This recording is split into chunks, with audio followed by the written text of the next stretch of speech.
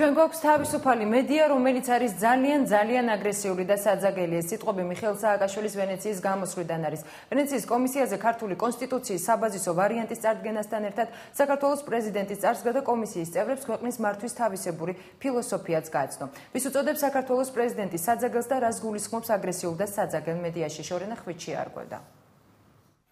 The philosophy behind which I personally stand ფილოსოფია რომლის უკანაც მევდგევარ მდგომარეობს ღია საზოგადოებაში ეს ღია საზოგადოება არსებობს საქართველოში და მასში შედის თავისუფალი მედია ჩვენ ყავს თავისუფალი მედია რომელიც არის ძალიან ძალიან აგრესიული და საძაგე ყავს თავისუფლად არჩეული ადგილობრივი მთავრობა ყავს ერთმანეთისგან განსხვავებული სტრუქტურის პოლიტიკური პარტიები. თუ ეჭვი გეპარება ღია საზოგადოებაში ვერ განავითარებს საკუთარ ქვეყანას მიხეილ სააკაშვილი ამ სიტყვებით ვენეციის კომისიის წევრებს საქართველოსში არსებული მდგომარეობის შესახებ უყვება. ქართული მედიის შეფასებისას პრეზიდენტი სიტყვა ნესტის იყენებს, რაც ქართულად საძაგელს საზიზღარს უხამს ნიშნავს.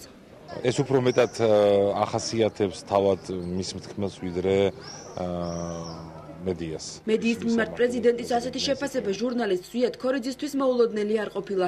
ამბობს რომ შეფასება ზუსტად გამოხატავს იმ დამოკიდებულებას რომელიც პრეზიდენტ ზოგიერთი ქართული მედია საშუალების მიმართ აქვს ასეთები კი ქორიძის აზრით მაესტრო კავკასია ბათუმის 25 არხი და კიდევ რამდენიმე მედია საშუალება ეს არის ყველაზე დამამცირებელი და ყველაზე შეურაცხმყოფელი სიტყვა პიროვნების მიმართ აა ნუ პრეზიდენტს სამწუხაროა ასეთი ლექსიკა აქვს და გაცილებით სამწუხაროა რომ იგი ამ ლექსიკას იყენებს მედიის წინააღმდეგ. პრეზიდენტმა მაგალითად შეიძლება თქვენ გიგულისხმოთ. არ ვიცი, შეიძლება მეც მიგულისხმო. მედიის მიმართ მიხელ სააკაშვილის მსგავსი აგრესიული შეფასება მოულოდნელი არც ია ანთაძისთვის ყოფილა. თუმცა მედია ექსპერტი მიიჩნევს, რომ ქართული მედია არც აგრესიულია და არც საძაგელი. ანთაძის თქმით, მედიის ფუნქცია და მოვალეობა სწორედ ხელისუფლების კონტროლი და მასთან არამეგობრული დამოკიდებულებაა. არევალება მედიას რომ იყოს მეგობრული პრეზიდენტის მიმართ, არევალება მედიას რომ იყოს დამთმობი და ალმობიერი ხელისუფლების მიმართ, ამიტომ ძალიანაც კარგი იქნებოდა რომ ყოფილიყო ქართული მედია თლიანობაში აგრესიული. მაგრამ სამწუხაროდ ჩვენი პრობლემა არის ის, რომ ჩვენ ვერ ვართ ისეთები, როგორც უნდა ვიყოთ, ვერ ვაკონტროლებთ საზოგადოების ინტერესებს. საქართველოს პრეზიდენტის მხრიდან მსგავსი შეფასება ქართული მედიის მიმართ პირველი არ ყოფილა. მანამდე მიხელ სააკაშვილმა ლონდონში ჩეთემ ჰაუსში სიტყვით გამოსვლისას რამდენიმე მედია საშუალება არამეგობრულ და მტრულად განწყობილ ტელევიზიებად მოიხსენია. ალიანსი მზად არის საქართველოს მისაღებად თუ ეს ქვეყანა ყველა საჭირო რეფორმას გაატარებს ამის შესახებ ანდრეს პროგრესმუსენმა ნატო საქართველოს კომისიის ხდომის შემდეგ განაცხადა.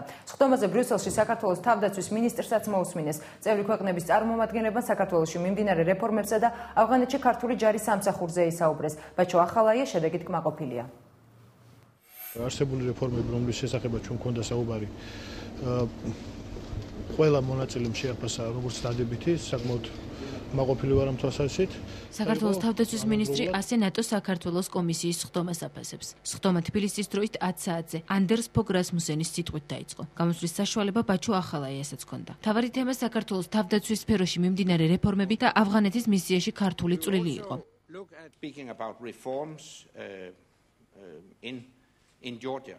ნატოს კარი საქართველოსთვის ღია, მაგრამ საჭიროა დამატებითი რეფორმა. ახლახანს ჩატარებული არჩევნები ამ ხრივ იმედის მომცემი ნიშანია. საქართველოს დახმარებას გავაგზავნე. ფიქრობ პრიორიტეტული თავდაცვისა და უსაფრთხოების სფეროების დახვეწა უნდა იყოს. წევრი ქვეყნების მინისტრების პოზიციაზე ალიანსის გენერალურმა მდივანმა ნატო საქართველოს კომისიის ხდომის შემდეგ ისაუბრა. შემაჯამებელ პრესკონფერენციაზე რასმუსენმა ქართველებს ტერიტორიული მთლიანობისა და სუვერენიტეტის მხარდაჭერაც გადასცა და ქვეყანას განსაკუთრებული მადლობა ავღანეთის მისიაში მონაწილეობისთვის გადაუხადა.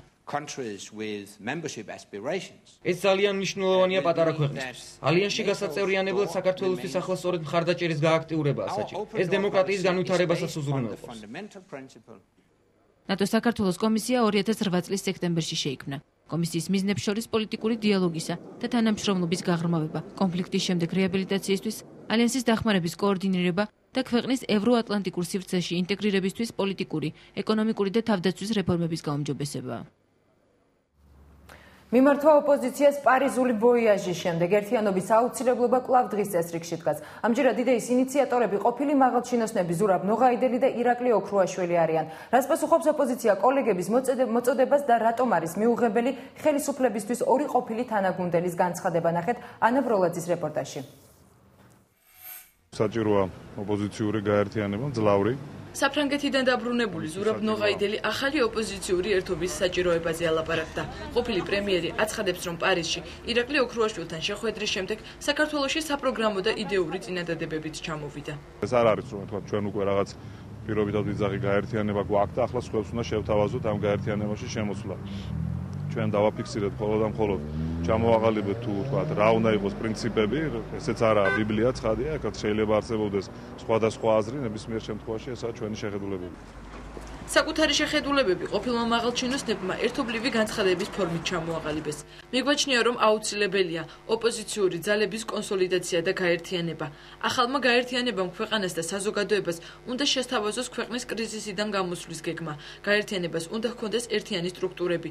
ჩვენი სახელმწიფოს ნგრევი შეჩერება და შენების დაწყება მხოლოდ ერთიანობით მიიღწევა. ბატონი ზურა ნოღაიდელი მახსოვს ჯერ კიდევ შევარნაძის პერიოდიდან ministrobიდან შემდგომ პრემიერ-მინისტრობის პერიოდში და ახლა არ მახსოვს რომ ოდესმე ოპოზიციის ერთიანობა ქონოდა ქვეყნის სასიკეთო წარმოდგენილი. ოქროშვილი ამასინად ინტერვიუში საუბრობდა იმაზე, რომ ჩვენ ვართ ხელისუფლების მაკიაჟი და მე ვფიქრობ თუ ხელისუფლების მაკიაჟი ვარ, დანამატი ვარ თუ რაღაცა, მე მგონი მისთვის უხერხული იქნება ჩვენთან ერთად გაერთიანება და ჩვენს განსაკუთრებული სურვილი არ აქვს.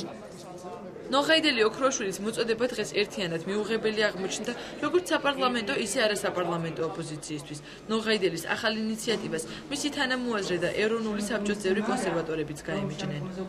რაღაც ალიანსების შექმნა და პარტიული გაერთიანებების შექმნა, ეს მე ვფიქრობ, რომ ყოველთვის ჩვენთვის საინტერესო არ არის. ოქრუაშვილის ნოღაიდელის გვერდით გამოჩენა უმრავლესობამ პოლიტიკურ თვითმკვლელობად შეაფასა და ახალ ოპოზიციურ ერთობას სახელმწიფოებრიობის წინააღმდეგ მიმართული ალიანსი უწოდა.